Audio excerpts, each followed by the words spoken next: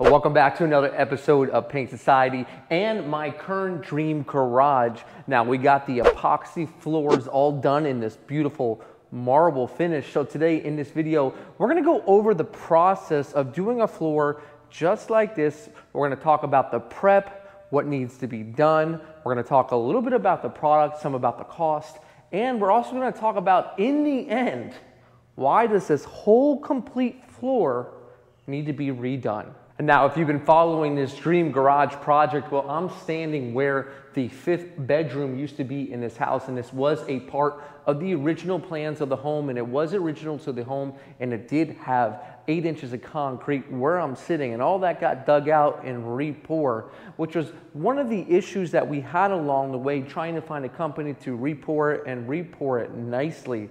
Now, once we got everything re-poured, we were ready for the finish of the garage floor. Now there's two different types of finishes you can do when doing a garage floor that are the most popular as of now. And the most popular finish I believe to be is that flake finish that is a multicolored finish that, well, is very easy to apply. Now we're not talking about the one from Home Depot that's just gonna peel right up like a Rust-Oleum, but a little bit more professional grade where the floor needs to be sanded and it needs to be completely epoxied then flaked. Then they have the marble finish that you see right in here. And what we're gonna do is we're first gonna talk about what it takes to prep this floor, how we got it to this point, and the effects of having a marble finish. Is it really necessary? Do you need it? Or is it just fun to look at? We're gonna go over that all, but let's take a look at what needs to be done and how this garage originally looked with the raw concrete. Now the first thing the installers did is they took a good amount of time and they used their floor sander and they used a 60 grit they were saying to really etch up all of that concrete. You can see at one point this concrete was sealed and it gave it that super slick look, the kind of that oiled look. Now if you were to paint right over this, it would peel off as soon as you pull any hot tires from your vehicle on it. So a lot of time just to really sand it down nice and slow and make sure all the surface is powdered up and dusty because what you're doing is you're creating those sand scratches and those sand scratches similar to painting a car is what is going to enable the epoxy or the primer to stick onto the surface and instead of just sitting on top it's getting integrated into the surface. You can see the big issue we're gonna have here is this new slab. It's so porous. Do you see the amount of dust and how open it is like a sponge compared to the rest of the finish here? And I will learn in the rest of the video why this was such a problem, but you can see just from sanding this area alone, um, the amount of dust that it creates. Now, originally they were not gonna do it, but I just mentioned to them that the slab was not flat at all compared to the rest of the concrete in the garage. And I didn't want to see a raised rectangle um, in the garage, so I made sure it was going to get done. And right after it was sanded down and cleaned off, I came out and the installers had already put down a black sort of primer base coat that goes ahead and seeps into the finish of the actual concrete and it provides a surface that can be buffed or sanded down smoother so that when the epoxy hits it, it shines like glass and it lays super smooth. And what you'll also notice that there's somewhat of a color on the wall that I did choose, and it is a one coat color. And the reason why I hurried up and put it down is because you'll see that they painted the border and I wanted to have my color there first so I wouldn't have to go back and tape and cut in. Now granted there's a couple spots I'll need to touch up, but that does help you when it comes to doing the design of your garage. Now, I kind of did things in the opposite way. You should do the ceiling, the walls, and the floor last, but I need to get things back into the garage, so floor for me was more of a priority, and well, just some plastic sheeting and some masking, and I'll cover up the floor and the walls when I go to do the ceiling, and vice versa. So let's go ahead and take a look. Once it was all blacked out in that primer base coat, well, let's talk about what they had to do. Now you'll see the difference in machine here. This is like a machine buffer, something you would see uh, buffing floors or waxing floors. Now he's telling me that there was an 80 grit that was used to just scuff the surface and knock anything down over here on the slab, you're using a sander to knock down all the ridges from the bubbles. And then back over here on the rest of the surface, you can see that they just move in a very organized fashion back and forth. And this kind of just knocks the top off of any areas and it shows any areas that will need a little bit more attention than others. Granted, it will never be perfect. No slab is ever going to be perfect. You'd probably have to sit there all day with a more aggressive grit and uh, keep refining the grit if you want this completely flat. And I don't think any company or even owner would even desire something like this. Just keep in mind, it's not a car. It's not a panel of a vehicle, so it doesn't matter as much. It's a garage floor. And what we're trying to do here is just to remove any defects that would really catch your eye once the epoxy hits it. Now keep in mind that the epoxy is a super thick product, which you'll see here in the rest of the video that it goes on thick and it doesn't move around a lot. Now it will level off a little bit, but where you put it for the most part is where it's going to stay. So having somewhat of a relatively smooth surface is important because it's not going to find different areas to go and level off into. So you have to make sure that when you're using epoxy that you use a lot of it.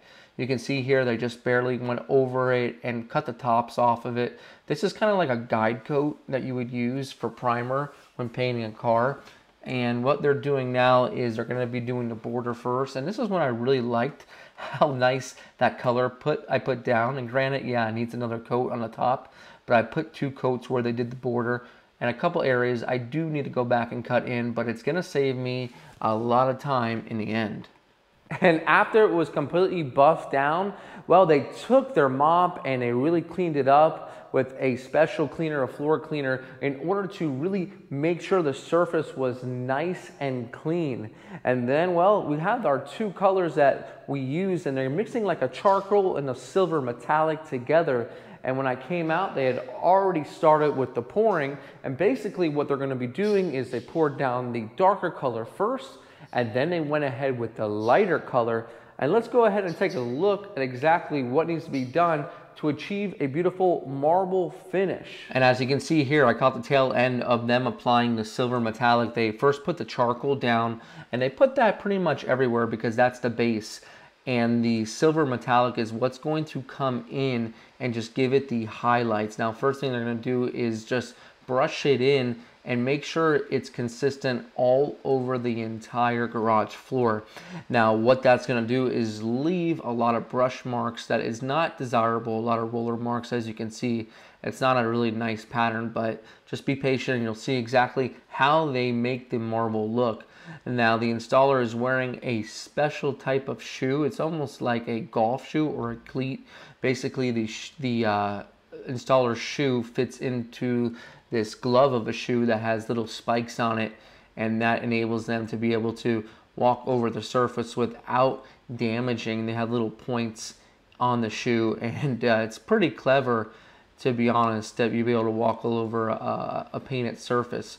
So what he's doing is he's moving around the epoxy. Remember I, I mentioned to you that it's very thick and it does require some movement to get it to lay down or else it's just going to stay right where it's at. So he's mixing the two colors together at this point, but once they're mixed together, it's just gonna look like roller marks. Again, a, not a desirable look. But what he'll do is he'll take propane, which you see right here, a propane torch, and that is what disperses up the pattern. And this is where the artistry comes into play because what he's actually doing here is he's going to the silver and the metallic charcoal tones and he's blending them together I guess with some heat. What it does is it disperses the color together and it breaks up all of those those roller marks. And it was kind of kind of fun to watch. You could see a lot of heat coming off of the floor a little scary at times but you can see the pattern just really start to show now what he did tell me is that he wanted to keep it as dust free as possible. So we went ahead and closed two of the garage doors and we kept this one open. and he would pick out little particles here and there or scrape them off, give them a roll, and then use the torch again. And this helped to disperse the pattern. And it's basically just a very um, large array of variations of the two colors that come together to give it that real true marble effect that looks stunning. And after all that, it came out really nice. Keep in mind that your surface will never be beautiful and 100% defect free. There will be some ripples, there might be some potholes. At the end of the day, it's a garage floor, but the effect is beautiful, it has a great gloss. Now let's talk about why this needs to get completely redone. And the reason why is because where I'm standing here, now this is not the fault of the company, they just apply the coating, but well, this slab was poured and I don't feel it was poured very well as far as the finishing. It was very porous and I don't think this company had a whole lot of knowledge when it comes to treating a concrete slab. It is not a concrete company. So they went about their business the same way that they would always do, and the finish on the other portions of the actual garage are actually beautiful, except for this finish right here. And I'm gonna talk about why it's not beautiful and what's gonna get done to make it consistent. And as you can see, well, it's not as smooth as the rest of the finish. The rest of this finish is nice and smooth. And here it's still ripply because this is like a sponge. And as soon as any material hit it from the original base coat uh, to the epoxy, well, it completely soaked it up. And right in here, it's very, very, very rough. There are some parts a little bit smoother, but the biggest issue, issue you'll see is there are bubbles everywhere. So porous that the air pockets are creating these bubbles. You can even come up to them and pop them. Some of them are already popped. And well, this is just not acceptable. They leave a very, very large ridge in the surface. Now, all these bubbles were, were present, or different bubbles were present in that black base coat, and they were all sanded down, but obviously there's still a good amount. And you can kind of see over in here the ridge of where the old concrete was. You can kind of see somewhat of a square, but overall, if you look at it, you can see smooth and over here, just a little bit rougher. But I did contact the company and this is what they told me. Basically, they were willing to stand by their work but also as a customer, I do understand that totally this is not the regular realm of work where a whole patch of concrete had just freshly been laid.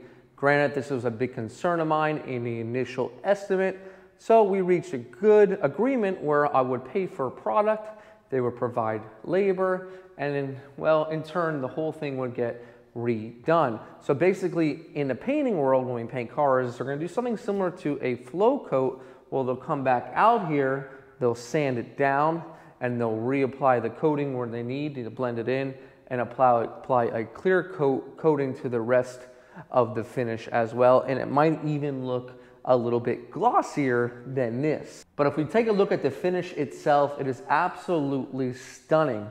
But is this too nice for a garage floor?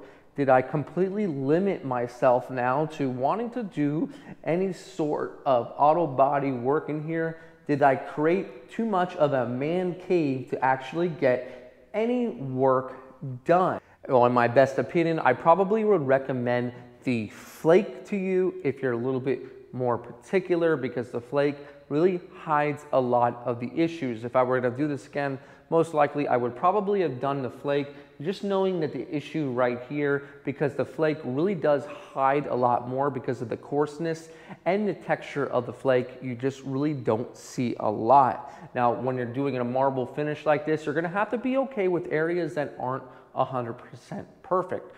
Now, when it comes to cost on a finish like this of 750 square feet with material, you'd probably be looking around 3,500 for the flake, and you tack on a couple extra grand, maybe around five grand if you're looking at a finish like this for the marble, so it's really up to you to decide what are you looking for. Now the one advantage to this floor is it's gonna be a lot easier to brush and clean out. I had the flake in the old garage and that was a little bit hard to move the bristles over the flake. A lot of stuff just got stuck into the flake. Although it was a little bit more rigid, well, it was a little bit harder to clean.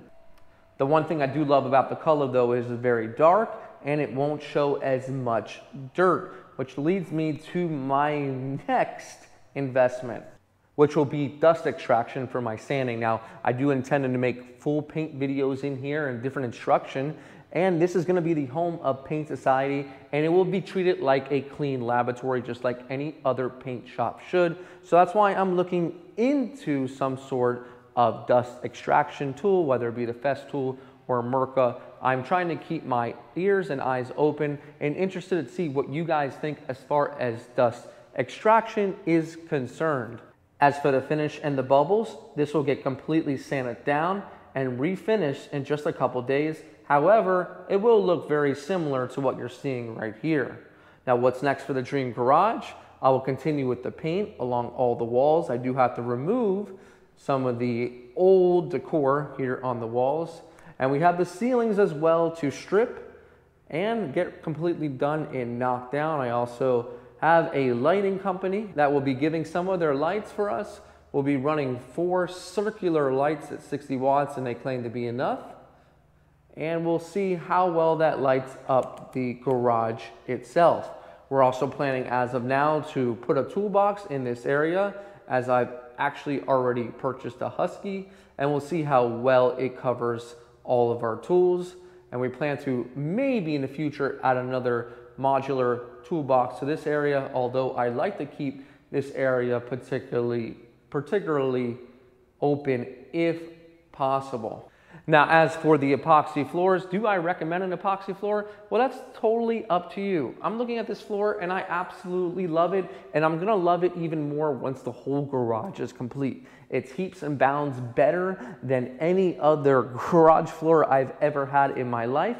And I'm really happy with my decision. I think I'd be happy with the epoxy flake as well, but I'd always wonder what it would look like if I had the marble, and I generally do love the way it looks. So it's really your choice depending on your budget and what your style is. Now, one thing I don't recommend to you is doing any, any sort of project from Home Depot and getting the epoxies from Home Depot just because those epoxies do not have what it takes to really be rock solid. And one thing you really need to do also is that whole floor needs to be completely sanded down and etched just like you would a car or you could never expect any of the paint or epoxy to stick to the surface. Well, make sure to let me know what you guys think in the comments. Do you love the floor? Would you have done it differently? And also, what is some other advice that you have for the Dream Garage? Now, what we'll be seeing in more episodes is we'll finish up the painting, we'll get the ceilings going, we're gonna start over with our toolbox and get that all built,